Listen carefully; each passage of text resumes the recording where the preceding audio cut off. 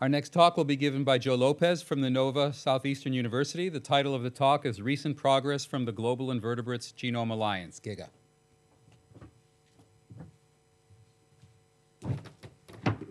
Thanks, Gene, and uh, uh, glad to be here. Thanks uh, to Harris and uh, all the EBP organizers. Um, just want to give a, a, current update of where we are with uh, the Global Invertebrate Genome Alliance.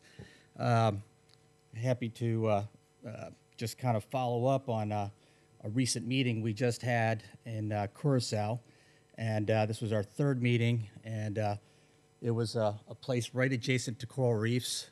This picture here of uh, Dendrogyra, uh, it's a coral uh, from Florida. It's kind of uh, epitomizes where uh, a lot of reef biology is. It's in a state of uh, degradation, and this is why our group is kind of focused on marine invertebrate conservation and genomics. And this is a, a, a, coral that's diseased in Florida.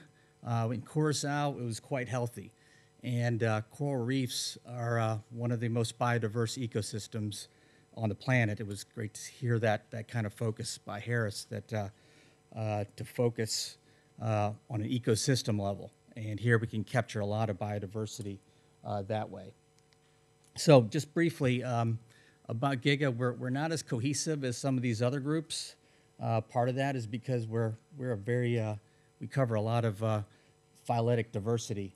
Um, and so we are. We also started uh, later than the, uh, the, G10K, which we get a lot of inspiration from, the Vertebrate Genome Project. Um, I think part of our uh, mission here is we're going to learn a lot, and uh, it was great to hear that this is a type of moonshot, and we're to we're going to learn as we go along. We're going to develop these techniques. I think in many ways we're we're going to be waiting on the technology to to develop, especially as we heard uh, um, you know, we have unique problems in the invertebrates in terms of small biomass uh, and, uh, and biomaterial. So uh, we just won't have that, that luxury of uh, having a lot of, of, DNA to, to work with. So we're going to have to wait for long reads, uh, sequencing technology, single cell genomics, et cetera. And uh, I think that's going to help us move forward. But basically, these are, these are our goals. Again, we want to bring together a community of scientists. At this point, we are a, a, a grassroots organization, and uh, we are uh, we're trying to develop these standards. We'll follow along with uh, what standards are developed through EBP. And uh, one of the focus foci of GIGA has been, uh, at least the past few years since our, our brief inception, is to train. Uh, you know, we, we are right now have a lot of data as we are.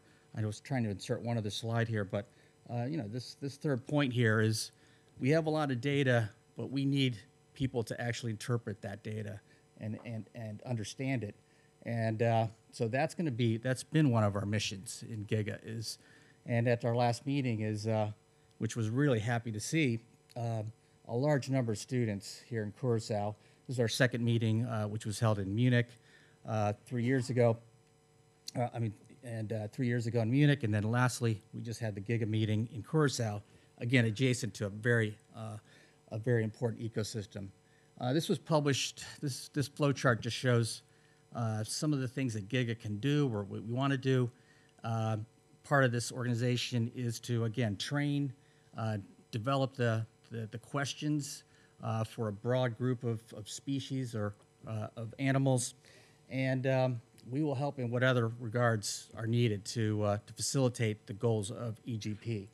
Um, and um, again, we are very heartened to, to support student training in bioinformatics, genomics. Uh, this was uh, last year's first meeting at the Smithsonian, and uh, through the AGA, we were able to, to host this workshop on, uh, on Galaxy at the time. Um, at, uh, in Curacao, we had a day and a half of training sessions on assembly and annotation. This was sponsored by the National Science Foundation and the AGA. And um, uh, we also talked about incorporating possibly as a nonprofit group and as a society. I think this will help us organize fundraising uh, and dovetail with EBP. So this, this is moving forward with, with our network. Uh, just to emphasize where we are on this, this animal tree, and what the invertebrates, which is a artificial group really, uh, but uh, the spineless organisms uh, represent the majority of this tree. Um, we, we know we have a, a, a really biased focus on uh, the chordates, the arthropods. That's where the representation of most of the genome sequences are now. But uh, we have 30 or so other phyla here on this tree. Uh, some of them um, have no molecular representation at all. Very no, none. Uh, the majority of those have no genome uh, representation. Uh, some of them have only one species, but uh, that just shows how, how rare and, and difficult and inaccessible they are, and the work that's needed in terms of sampling. Um, I had one other tree here I didn't get to insert uh, from Casey and Dunn, but that also highlights uh, what we need to do. Um, as I mentioned, you know, Xenoturbulata, uh, Micrognathozoa, one species uh, in the whole phyla. And yet we have a wide diversity of morphotypes, behavior. Uh, vertebrates or invertebrates feed the planet uh, with fisheries and crustacea, interesting morphologies. The octopus, uh, the cephalopods have uh, very developed neural, neuronal systems. There's a, there's a genome there from the octopus that's recently been sequenced. We can learn a lot more from the cephalopods as well. These are non-model organisms. Again, uh, uh, Kevin's going to talk about the, uh, uh, the insects, so I won't talk about those. We could leave those out. The nematodes, there's been quite a representation, but leaving those out, we still have hundreds of thousands of invertebrates that could be sequenced and, and analyzed. And um, this is the genome size uh, database, and you know we're comfortably in this uh, three gigabase region, uh, but there are a few groups of, of crustaceans that have very large genomes. So those are going to be hurdles that we have to go go through as well. Uh, fairly large genomes. So we want to work with these quality standards that are going to be developed. Um, uh, right now, in terms of species statistics, we have probably about 200 or so um, invertebrate genomes, not counting the, the arthropods that have been sequenced. We're tallying those up right now, um, and uh, we're moving forward. But again, as a group, it's been type of piecemeal in terms of uh, where we are. So uh, this past summer, uh, the European group Ignite uh, was able to obtain funding to uh, start a program for 15 PhD students, and uh, that's again part of the deliverable training. This has been moving forward. Some new publications on uh, uh, invertebrate placozoan species. A whole genome was was sequenced, and this actually added another species to the to the file of placozoa. Uh, so that that uh, grew from this genome uh, initiative. We have a collection of, um, of, of publications run through PLOS. Uh, we're asking for people who want to uh, uh, deposit into this collection, and that's, that's moving forward as well. Um, new paper that's coming out in annual review of uh, animal biosciences gives this other tally of where we are for invertebrates. And um, again, it shows uh, just um, the long way we have to go and the many gaps that are involved again, only about 200 or so invertebrate genomes uh, in the current list of, of animals. Uh, we have one partner in the uh, Hubbard Center for Genome Sciences, though. Uh, they gave a talk in Curacao and uh, have shown some really nice progress uh, with looking at those invisible fauna, the meiofauna, which are found in interstitial spaces of uh, reefs and marine sediments. And um, they give some very promising results that they, they presented here. Oh, I didn't get to include that. This is not the, the latest version.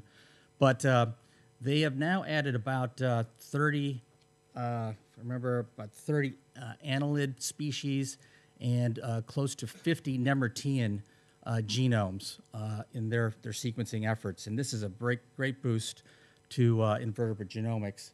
So they're moving forward and and then again, we have lots of other groups that we want to pull in um, uh, and coordinate so that basically we avoid duplication. We have a limited number of resources, and um, and uh, this is kind of where we want to go. Thank you. Question?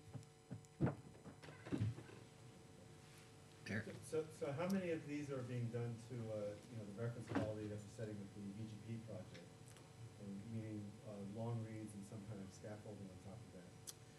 Uh, well, the Hubbard's using uh, mostly Illumina sequencing for a lot of theirs, uh, their, their sequences. And part of it, part of the problem is the amount of material. Uh, But I think you bring up some good points that I think we set these standards for uh, reference quality and, uh, and longer reads. So I think that's something we, we want to aspire to.